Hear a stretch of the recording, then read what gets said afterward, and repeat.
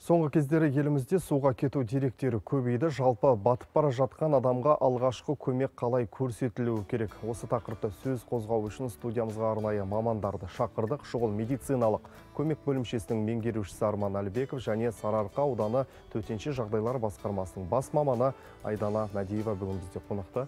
Қош келдіңіздер. Енді сіздерді арнайы шақырып отырмыз. Өйткені кеше ғана білесіздер, Ордабасыда болған жағдайды. Енді ол енді күллі қазақтың елдің қабырғасын қайыстырған бір сондай қаралы хабар болды. жалпы осы біздің елорда төңірегінде ел төңірегі бойынша айтып өтсек жалпы қанша жазатайым оқиға тіркелді қанша адам судан құтқарылды осы туралы ақпарат бере кетсеңіз. Елордамызда шомылу маусымы басталғаннан бастап яғни шомылу маусымы бірінші маусымда басталады. Содан бастап жеті адам суға кетті. Ол жеті адамның барлығы яғни рұқсат етілмеген жерлерде шомылды. Кешенің өзінде ғана екі адам суға кетті. Оның бірі сексен екінші жылғы кісі екіншісі екі мың оныншы жылғы яғни жас бала. Суға кетудің себептері қандай? Енді күннен күнге суға кету дерегі азаймай отыр деп айтып жатырмыз. Енді жаз деген бір суға түсу маусымы маусымы әрі бұл қауіпті маусым десек болады. Иә үш ай жалғасады ғой шомылу маусымы. Осы уақытта негізгі ең басты себеп ол рұқсат етілмеген жерге шомылу. Кеше рұқсат етілмеген жерге шомылған үшін екі адам барды шомылуға оның біреуі яғни суға батып кетті. Екінші адамға қазақстан республикасы әкімшілік құқық бұзушылық яғни кодексінің су қағидаларын бұзу туралы ережелеріне байланысты үш жүз алпыс төртінші бап бойынша әкімшілік хаттама толтырылды. Яғни екі айлық есептік көрсеткішке. Ал енді кешегі ордабасыда болған жағдайдан кейін жалпы өңір өңірлерде жер жерлерде яғни жағажайларда су қоймаларында тексерістер күшейген шығар. Енді рейдтер қалай жүргізіледі жалпы? Астана қаласын айтатын болсақ күнделікті түрде сағат күндізгі 12-ден бастап кешкі сағат 8-ге дейін рұқсат етілмеген жердің барлығында біздің яғни төтеншелер департаментінің қызметкерлері кезекшілік жүргізеді. Яғни спасательный жилеттермен кругтармен бірге сол жерлерде тұрады. Адамдарға шомылмаудың яғни шомылу ережелерін барлығын түсіндіреді. Бірақ оны көптеген адамдар түсініп жатпайды. Яғни құтқарушылардың сөздерін тіпті құлақ қаспайды. Енді арман мырза өзіңізден сұрайық. Енді мынау жаз маусымында көбінесе жаз айларында қандай шағымдармен келеді тұрғындар? Қандай көмектер көрсетіледі?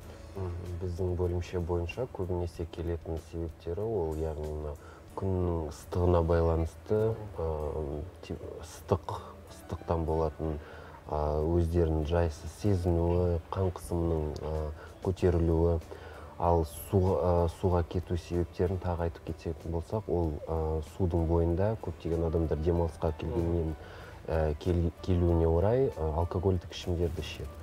Сол себептен алкогольдік ішімді ішіп алкогольді мас болған кезінде суға түседі да суға батып кетеді.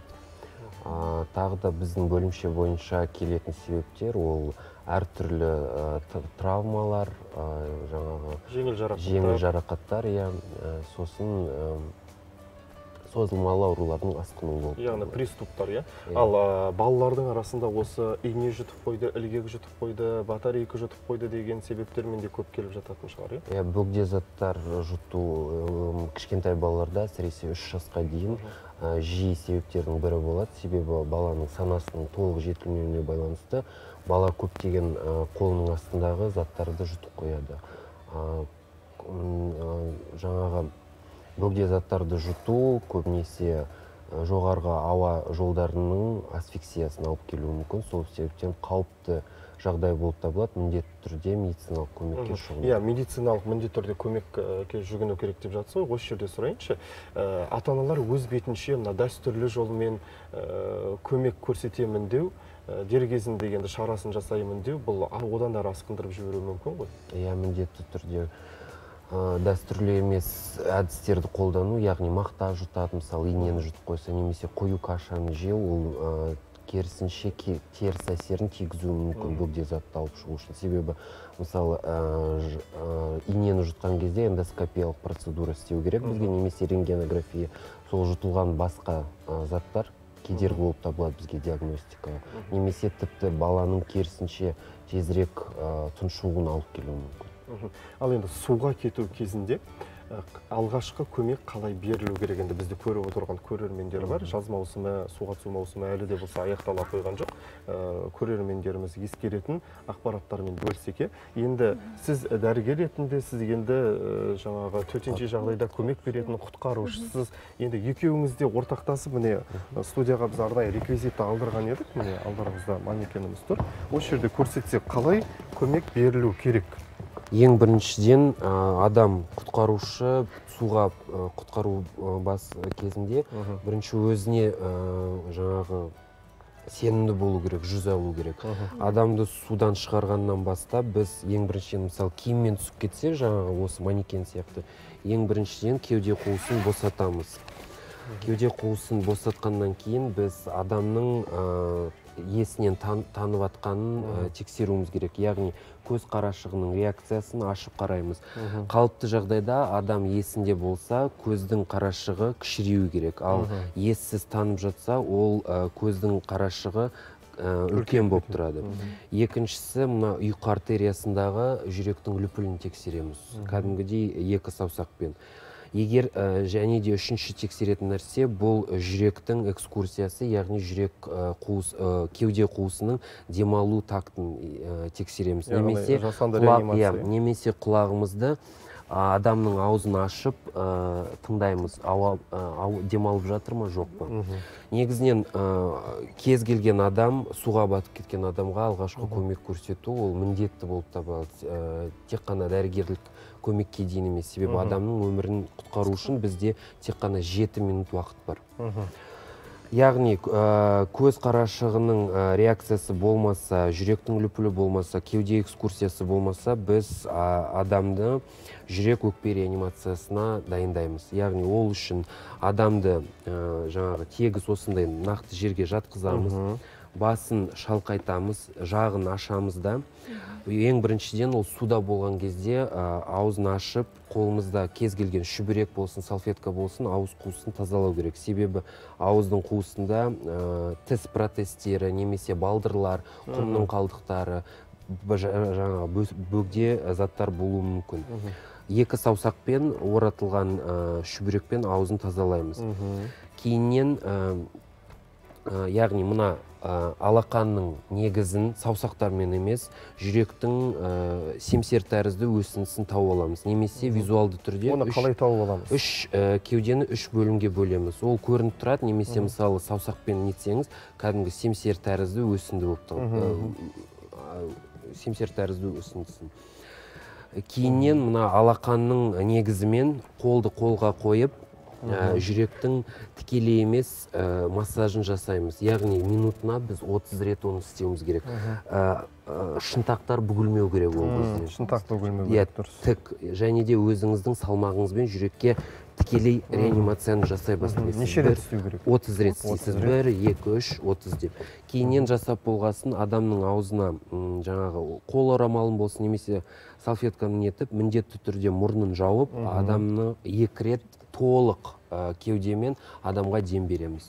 Ә, яғни тағы да ескере кететін жағдай егер де бұл бала болса ешқашанда толық ә, кеуде қуысымен демалуға болмайды. Себебі баланың өкпесі жарылып кетуі мүмкін. Тек қана ауызбен ауаны толтырамыз. түсінікті. Ал кейіннен егер анау судан қалай тазарту керек жұтып қойған суды қалай жантайту керек пе? оны айтамыз иә.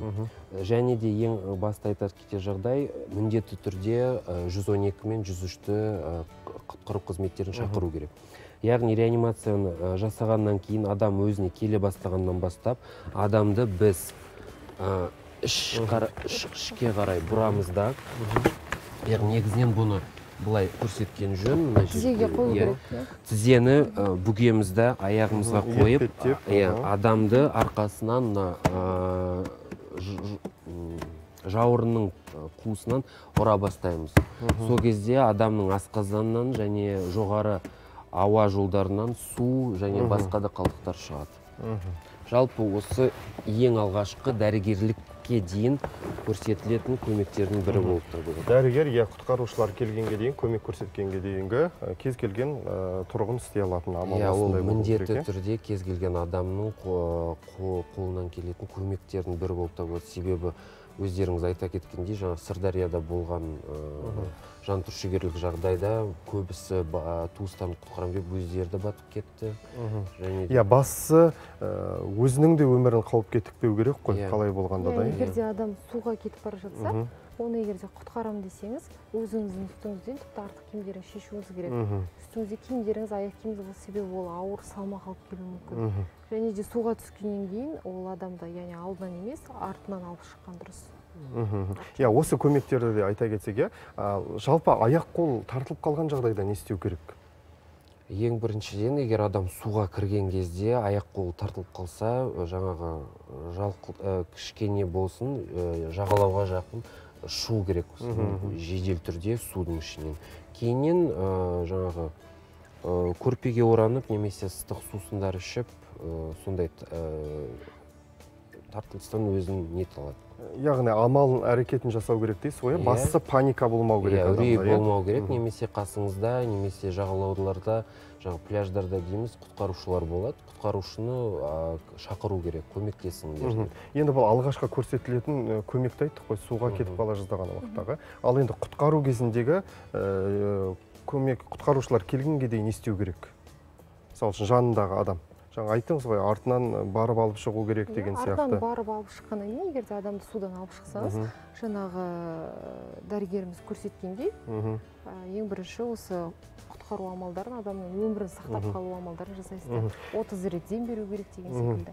Түсінікті. Енді сіздер үгіт насихат жұмыстарын жалпы осы бұқаралық ақпарат құралдары арқылы жаңа қағаздар таратып барлығын барынша әлеуметтік желілерде хабарлап айтып отырасыздар иә? Бірақ дегенмен енді бұл әркімнің әр тұрғыны өзінің жауапкершілігіндегі нәрсе ғой. Бірақ дегенмен біз жағажайларда су қоймаларында арнайы қойылған белгілер бар. Бірақ тұрғындар сол белгілерге неге назар аудармайды? Арнайы қойылған белгілерге. Тіпті осы астана қаласы бойынша да тыйым салынған белгілер тұр. Сол белгілерді сол белгілердің жанында құтқарушылар кезекшілікте тұрады. Жаңағы айтып кеткендей он екіден сегізге дейін. Бірақ көп адамдар айтады біз осы жерде қаншама жыл тұрып жатырық деген секілді.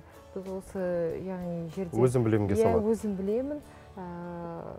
Жылда түсеміз суға деген секілді. Бірақ енді апат деген айтып, жоқ. айтып келмейді ғой. Бүгін егер аман есен ол суға түссе ертең не болатыны белгісіз. Сондықтан да тыйым салынған белгілерге назар аудару керек және құтқарушылардың айтқан ережелерін сақтау қажет ал енді рұқсат берілмеген жерлерге жерлерге өтіп кетсе шомылса қандай жаза немесе тыйым бар? Қандай шара қолданылады? жаңа айтып кеттім қазақстан республикасы әкімшілік құқық бұзушылық яғни кодексінде су қағидаларын бұзу туралы ережелер бар. Сол ережелердің үш жүз алпыс төртінші бабы бойынша егер де тыйым салынған жерде шомылатын болса онда екі айлық есептік көрсеткіште әкімшілік хаттама толтырылады. Ең бірінші егер де адам оған ең, ең бірінші яғни ол ережелерді осыған дейін егер де бұзып алса онда предупреждение беріледі яғни ескерту. Ал осы бір жылдың ішінде қайтадан қайталаса онда екі айлық есептік көрсеткіште айыппұл салынады. Енді қоғамдық құтқару бекеттерінде қанша жасақшы бар? Біздің астана қаласы бойынша ма? төрт яғни тәулік кезекшілікке түседі. Яғни осы құтқарушылар бір тәулік кезекшілікте болады үш күн демалады. Бір тәулікте кезекшілікке жаздың кезінде күшейтілген негізде жиырма адамға дейін яғни құтқарушылар түседі. Ал енді сүңгуірлер қаншалықты тексеріс жүргізіп тұрады су астында? Су астындағы қауіпті анықтау үшін. Сүңгуірлер осы шомылу маусымы басталғанға дейін яғни бірінші маусымға дейін тексеріс жүргізеді. Тексерісті жүргізеді олар рұқсат етілген жерлерде. Яғни астана қаласы бойынша төрт жер бар ғой. Ол яғни орталық саябақ және де три столичный двор және де шаба бейсекова мостының астындағы көпірдің жанындағы коммунальный пляж бар. Бірақ ол коммунальный пляжды ашты десек те яғни екі гис желісіне барлығында ашты деп тұр. Бірақ ол жерде құтқарушылармен жабдықталмаған яғни судың түбі барлығы тексерілмеген сондықтан әлі де түсуге болмайды. Құтқарушылар осы шомылу маусымының алдында сүңгуір жұмыстарын жүргізіп арнайы яғни өздерінің тексеретін нелер бар аппараттар бар солармен бірге тексеріп тек сол уақытта ғана тексереді яғни рұқсат етілген жерлерді тексеріп шығады. Енді дәрігер мен құтқарушы ел тұрғындарына не айтады? Ең бірінші құрметті қала тұрғындары яғни қонақтары ескертетініміз балаларыңызды қараусыз қалдырмаңыздар. Себебі ә, сіздер демалыс орнына келгеннен кейін былай қарап қойып балаларды суға жібере салуға болмайды. Себебі ә, жағажай мен судың арасы бірнеше арақашықтықты яғни сақтайды. Ә, баланы құтқарып қалу яғни несі ә, жағдайы төмен болуы мүмкін. Және де алкогольді мас күйінде суға шомылмаңыздар. Судың жанында арнайы белгілер болады. Сол белгілерден асып кетіп шомылмаңыздар деп айтқымыз келеді. Қысқаша? Қысқаша яғни созылмалы ауруларыңыз бар болса және де ам, жүрек ауру аурулары болса өзіңізді нашар сезінсеңіз ешқашан суға түспеңіз шаршасаңыз. Суға түспеңіз олай болса студиямызға келгендеріңізге ақпаратпен бөліскендеріңіз үшін рахмет. Жұмыстарыңызға тек қана сәттілік тілейміз. Аман болыңыздар. Қадірлі көрермен біз бағдарламамызды ары қарай жалғастырамыз.